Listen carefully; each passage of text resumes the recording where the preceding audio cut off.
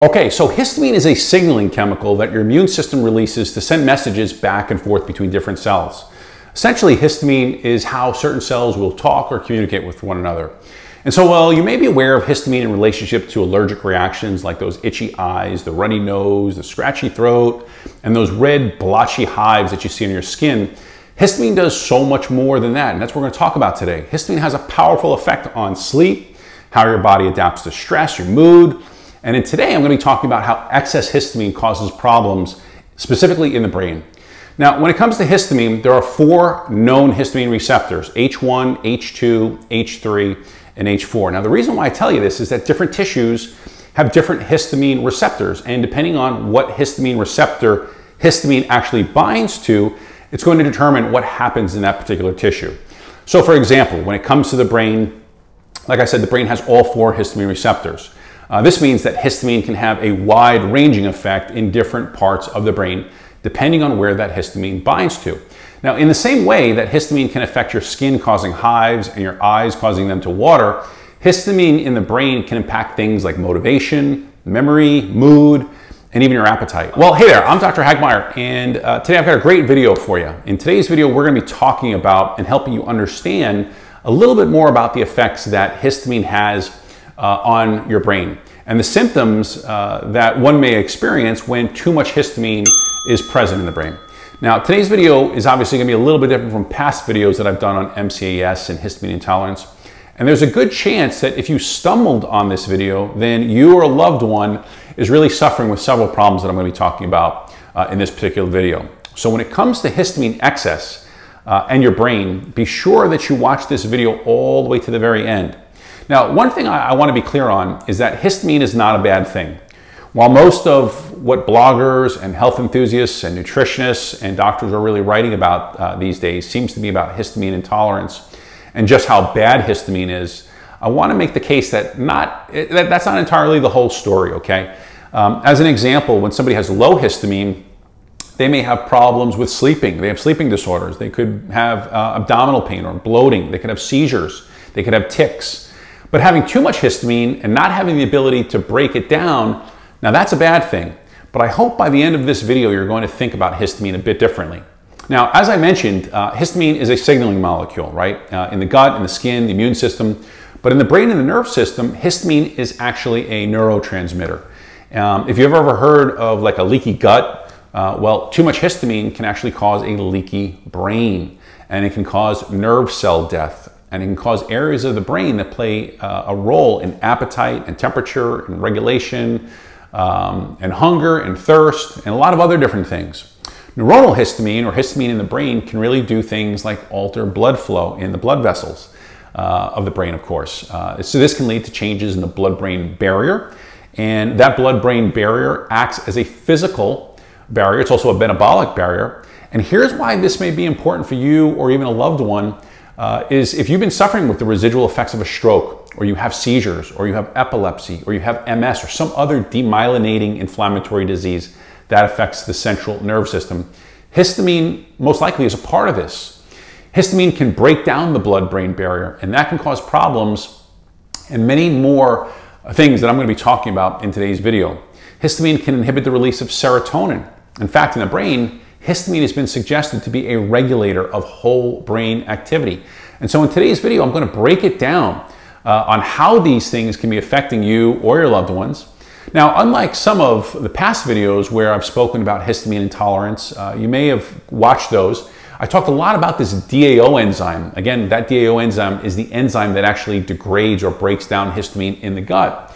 But when we talk about histamine in the brain, there's actually two other enzymes that you really should be aware of. One is the HNMT enzyme and the other is MAOB. Now, problems with these enzymes are in part responsible for the symptoms we're going to be talking about throughout this video.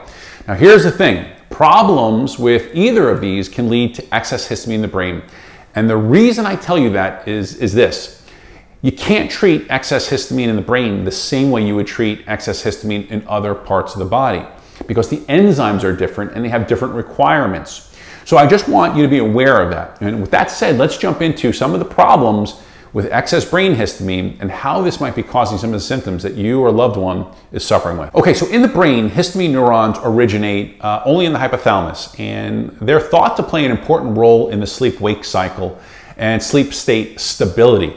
Now, in other words, histamine keeps the mind in a wakened or alert state. You may recognize this as insomnia or even something known by the name of narcolepsy, right? Narcolepsy is a chronic neurological disorder that involves a decreased ability to regulate the sleep-wake cycles. Symptoms often include periods of excessive daytime sleepiness and brief involuntary sleep episodes where you're just falling asleep. Now, about 70% of those affected individuals also experience episodes of muscle loss. Excess brain histamine can certainly be a culprit. Now, many people uh, these days struggle with brain fog and mental fatigue. Now, here again, histamine can be a problem. When histamine receptors are blocked, as in the case of someone taking antihistamines, or in the case of excess histamine, uh, where it's not being properly broken down by those enzymes that I mentioned just a moment ago, we get this flooding of histamine in our brains. This again leads to mental fatigue, brain fog, trouble focusing, and concentrating. Think about it this way. If you ever took an antihistamine, like Benadryl, how do you typically feel after you took it, right? Did it make you sleepy? Did it make you drowsy? How did it affect the way you thought and how you were thinking? Did your heart begin to race? Did you experience dizziness? Uh, did you have headaches or ringing in the ears? Again, these are all common side effects of antihistamines. Now remember, antihistamines are only blocking how histamine binds and attaches to the receptors. It's not reducing the production of histamine and it's not breaking down histamine uh, faster. It's just blocking it from binding to the receptor. Antihistamines, while incredibly helpful to managing some of the symptoms, they still fail to address the root cause. Now, another area that we see histamine affecting is our ability to perceive pain. Uh, are you someone who struggles with chronic pain? Maybe you have fibromyalgia or CIRS, chronic inflammatory response syndrome. Well, mold exposure can trigger mast cell activation syndrome. And in the peripheral nerve system, histamine is released in response to tissue injury and inflammation, and tissue, of course, tissue damage. Now, in the nerve system, when you have too much histamine, it can lead to increased firing rates of these nerves, and what that means is that it can generate pain and pain hypersensitivity. So think about it like this. Many people uh, who suffer with neuropathy or fibromyalgia or chronic pain syndromes, they may be affected by this. Now remember what I said, there are four kinds of histamine receptors, H1, 2, 3, and 4. In the brain, H3 receptors can affect how pain is being transmitted. Having too much or too little histamine in your brain, uh, you may end up perceiving pain much stronger than you would under normal circumstances. But that's not all those H3 receptors are involved in. Those H3 receptors are involved in mental health problems like ADHD, depression, anxiety, panic attacks. Now, the reason we see this connection between histamine and mental health problems has to do with both the inflammatory effects that histamine has on the brain, the impact it has on the blood-brain barrier, and its effects on the release of other neurotransmitters in the brain. You see, histamine stimulates serotonin, it stimulates norepinephrine, dopamine, glutamate transmission in the brain. We all know that too much glutamate in the brain is why many people struggle with anxiety or a restless mind or constant worry or OCD or disorganized thoughts, to name just a few. Now, I hope by now you're starting to appreciate just how important histamine balance is in the brain uh, and just how widespread the effects that histamine can really be when things get off kilter. But what if I told you that histamine has also been shown to play a role in addictive behaviors like alcohol and drug use, right? Well, you see, it turns out that histamine can either stimulate or inhibit the dopamine system. Well, why is that important? Well, dopamine is one of the neurotransmitters that's typically associated with pleasure and, and reward. And we continue to do things that obviously make us feel good, and we avoid the things that make us feel bad or hurt us. Well, that's dopamine. And if you have MCAS or histamine intolerance, mast cell activation disorder, and your doctor or your specialist has you on antihistamines like Benadryl or Allegra or Zyrtec or Claritin or some other prescribed medication, ask yourself, have you gained weight? Have you noticed changes in how food tastes? Are you hungry more than usual? Well, if you said yes to any of these questions, here's why. It turns out that histamine in the brain puts the brakes on our hunger drive. It suppresses appetite. Uh, and again, when you take an antihistamine, it often increases our appetite. And this can lead to obviously overeating and finally the end result, weight gain. But that's not the only way histamine can affect hunger. Histamine affects our leptin levels. Now, leptin is another hormone that I've spoken about. Uh, it's a hormone that actually suppresses appetite and hunger. And so when someone becomes leptin resistant, it can increase binge eating, it can increase emotional eating or unhealthy snacking, and again, promote bad eating habits. Now, I'll bet if you're still with me that you never thought that histamine, as it relates to all of these areas of the brain, would be affected. So here are some final thoughts and things that I really just want you to remember about histamine and the brain. The obvious that is that it's now apparent more than ever that too much histamine in the brain really can be very, very damaging. And while our brain really depends on histamine, too much of it or too little can really have terrible consequences. Histamine can lead to poor sleep, it can lead to increased stress response, increased pain perception, it can increase brain fog and focus, it can compromise other neurotransmitters uh, like serotonin and dopamine and norepinephrine and glutamate.